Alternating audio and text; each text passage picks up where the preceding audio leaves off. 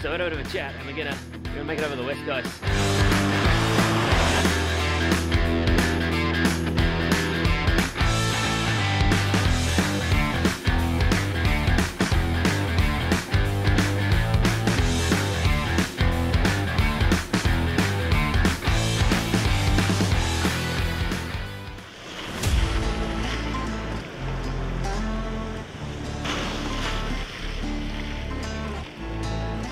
Big River. It's been many, many years since I've been here, and um, remember it's very, very bumpy all the way up to the old town. So it's gonna be interesting to see what today brings. Hopefully it's not as scratchy as last night and not as hard work.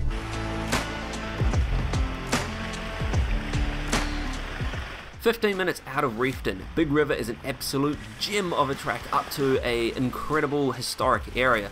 This place just blows my mind every time I've been through here.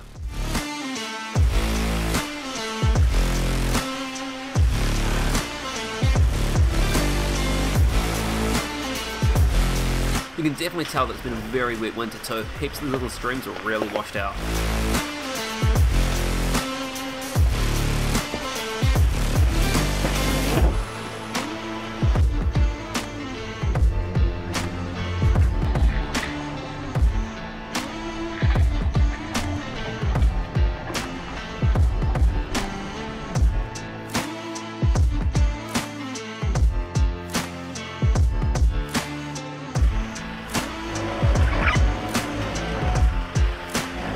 This little, I don't even know what you'd call it, is probably the most complicated part on the whole track. Zero issues in a four-wheel drive, but if you do have like a lower slung vehicle or maybe an all-wheel drive, could possibly cause a couple of dramas if it's wet.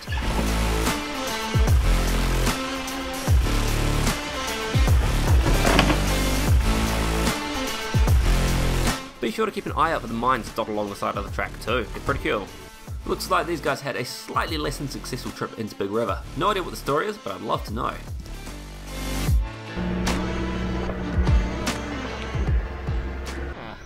In the um, Big River Township. 100 more meters to go.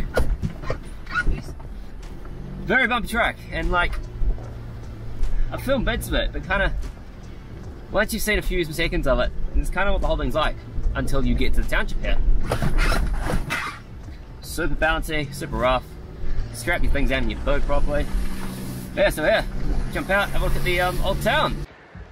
So I left the camera in the car, but I got my phone. So I've just come up to the hut up above Big River here. Look at that. Incredible view out over the valley and the river there. And come around here, you can see the old like, um, it's the entrance to the mine up there, the shaft. And may not be able to see it on camera, but at least in person you can make out the tower. A stunning view though. All out over the hills and that's cool. And then like coming into this hut, this thing's incredible.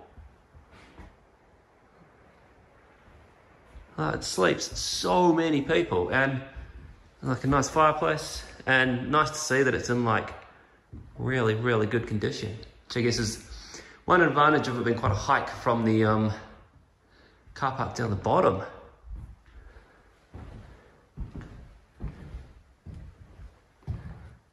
Cool little spot.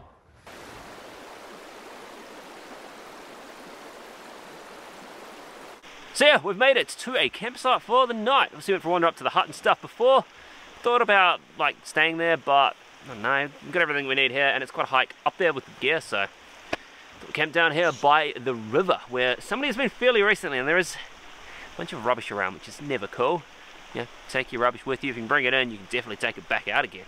So yeah, gonna get set up. There's a slight breeze, which is gonna be nice. It can dry out these tents after the last few days of um, rain and snow and some blue sky. So maybe we're gonna be in luck tomorrow with some sun.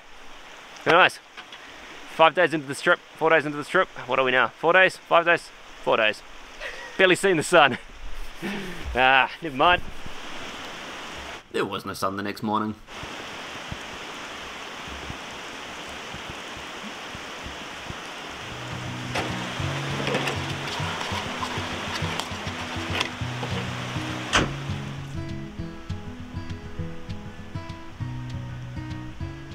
This has been probably one of the more challenging trips in terms of I guess, the weather and filming. Like, it has been real tricky to try and get footage, especially like, you know, my whole planning that I did before this head up to Tekapo, like, you know, I put a snorkel on the truck, which, I mean, it's nice to have one, but I haven't needed it, even remotely.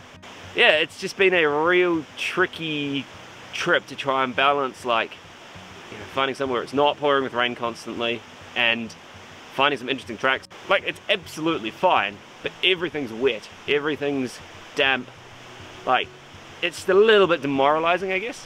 No, no, just some real chat. Like, I know that these trips often look amazing and sunny and full of adventure and stuff. This has been that, apart from sun, um, but it's just been that bit more work, I guess. It's part of adventuring. Sometimes things don't work out. Sometimes you end up in completely different places than you planned, and it's all about making the most of it.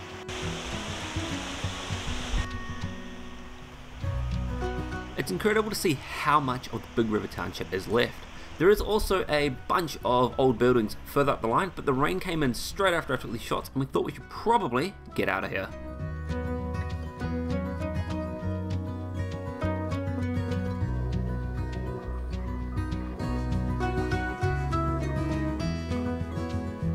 Alrighty, first time using this new compressor in anger.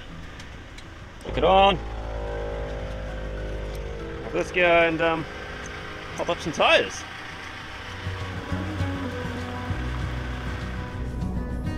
Leaving Reefton, we pushed out over Lewis Pass, a road I've never done before, and towards Hanmer Springs to get up into the St. James Conservation Area. It was a stunning, stunning drive, and I'd highly recommend that route over the island if you're in the area.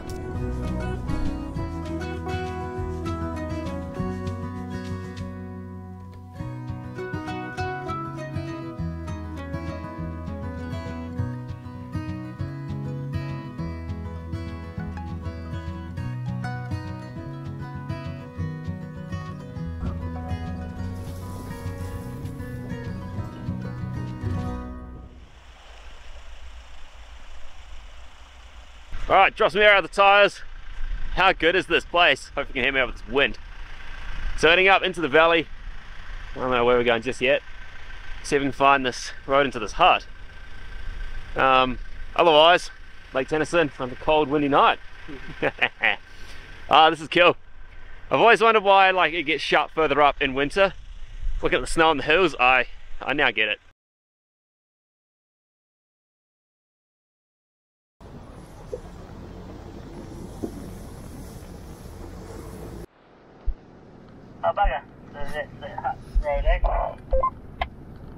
It is, unfortunately. I forgot about the winter factor when um, we thought that could be an option. Uh, close winter, eh? Yeah, never mind. Um, I guess we push on, unless the weather's looking too terrible. Three degrees, apparently.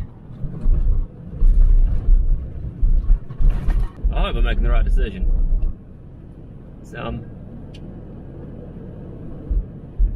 slightly less than ideal conditions up this far in the valley. So it's pretty special. We've just turned off the main main road, you can call it that, and um, heading into Lake Tennyson itself. And like, you guys will look out the window. There's wheel tracks and not a lot else. Heap of snow. So it's gonna be a cold one tonight, but fingers crossed. I don't like my chances. Fingers crossed it's not gonna get windy.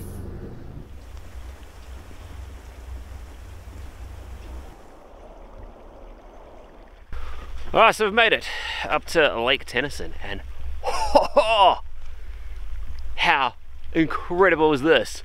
And amazingly, we're not the only ones who are crazy enough to be camping up here tonight. There's someone sort of tucked over in the hills there, so oh man. I'm gonna grab some more shots in the morning, like it's pretty it's getting pretty dark now, but we made it. This is awesome. I don't have words. It's kind of um I don't know. That's what I thought we'd be doing kind of down Tekapo, except way for the north now. Anyway, I'm going to finish setting up my camping stuff. Sort of grab a few quick shots before the light fades completely and yeah, Lake Tennyson. Back here again. Except this time, it's snowing and not like bone dry like it gets in the middle of summer. What do you reckon, Mr. Ash? Thanks. Very cool. Beautiful Uh, this is surrounding us. Can't complain really. Worth the drive in, eh? Yeah, think it's a nice drive in too. Yep.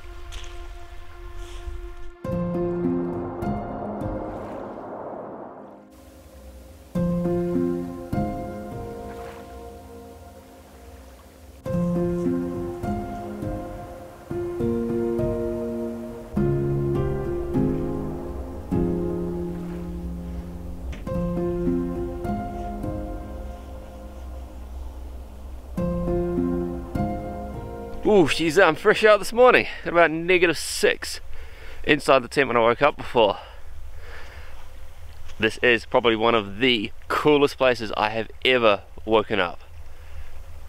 I, I, don't have words to describe it. I um got up at about 4 a.m. this morning to take some more star photos, so I took a couple for bed and alright. And then 4 a.m. this morning, like the spin around, the um, stars were kind of over the lake there, like throw a photo up and but yeah, this is pretty awesome, and it's it's real weird. Like, been warming up all night long, and getting up, and like everything's frozen. I can't get into my boot at the moment; it won't open. Ash can't get into his canopy. All the locks are all frozen up. Like, the ground's completely solid. That's pretty special. Between the pouring rain and the negative 8 degrees overnight, everything was frozen shut. It made getting the morning coffee quite a lot harder than it needed to be. Come on, let me in.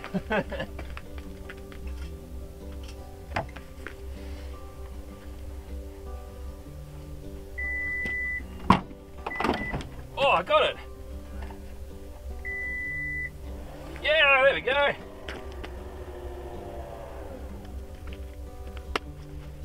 Give me a normal boot any day of the week. Bit of extra work in summer for sure, but you know, flicking on the light this morning and wondering what the sparkles were on the inside of a tent roof, um, realising it's ice, and then progressively finding everything is ice closed. Um, it's pretty neat. Um, yeah, it was a bit of work though. Last night was pretty wild and wet, um, but to wake up to this, it's pretty hard to beat. Leaving camp on the final morning is always super hard. There was a snowstorm coming in, and we knew we had to get out of here before we got trapped. It was an incredible drive out.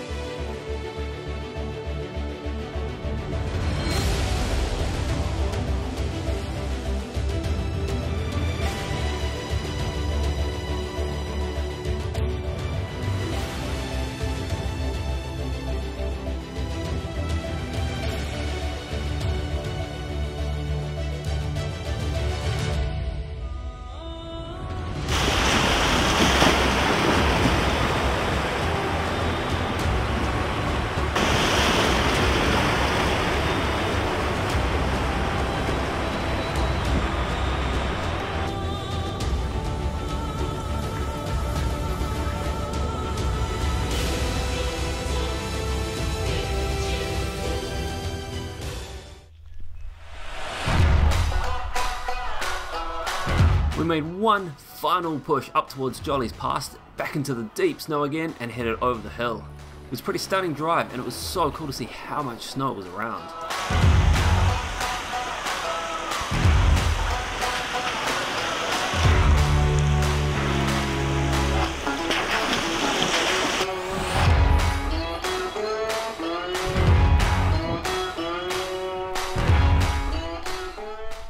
And that is a wrap. It's down in White's Bay at the moment. We're going to head round Port Underwood as kind of final thing, but um, there's a tree down across the road, so here we are. This is the end of the line for this trip. This trip has been a little bit of a whirlwind. It's been one of the more challenging ones with the weather, but also super epic and super rewarding. Like, I've never camped or done a trip like this before in winter, and man, to get out here, do this, see the snow, camp in the snow, and see the South Island in winter, even when like you know the weather hasn't really played ball and when all our original plans are out the window. But that's what this is all about. It's about exploring and making the most of whatever situation you end up in. I've been super impressed with all the gear I've been running on this trip. Like, you know, the weather has pushed heaps of the stuff to the limits, and like between the tents and the awnings and the REDARC gear, like keeping like electric blankets and things going. Like it's been awesome. Um, we've been using GME radios this whole way through, and they have performed faultlessly. And like you know, obviously we both basically did a bunch of work just before we came down. Suspension is very similar between the two trucks, and that stuff has just worked brilliantly. So you know, I'm so pleased with how this has worked, and everything has gone relatively smoothly for a, for a trip where you know we're finishing things off basically the night before we left. Huge shout out to Ash from Kaizenworks for joining me on this trip. It's been awesome having like another vehicle just to be able to push into some of those places where I might not have gone solo and for his support and like getting you know the Fortuner ready to go and stuff. Really, really appreciate it. Check out Kaizenworks AFN if you need basically any of the gear you can see on well either vehicle to be honest. Please remember to hit that like button if you enjoyed this video and remember to subscribe. It really, really helps our channel grow. And if you're into Patreon, like Patreon basically semi-funds these trips and helps us get out here and make more content for you guys to enjoy. And you get behind the scenes access and everything first. And like basically, you know, all of this content comes out you know, a bit in advance before it does on YouTube, Instagram, Facebook, all that sort of stuff. And yeah, it basically means Overland NZ can grow. Also, remember check out Navigator, Navigator Pro, all the tracks that we've done, all the way on the South Island are all on there, all the campsites. Um, I will chuck together an itinerary, be in the link in the description below, and that'll basically be the list of everything that we have done. Anyway, thanks heaps for watching. Have an awesome rest of your winter, and hopefully see you out there on the tracks. Catch you later.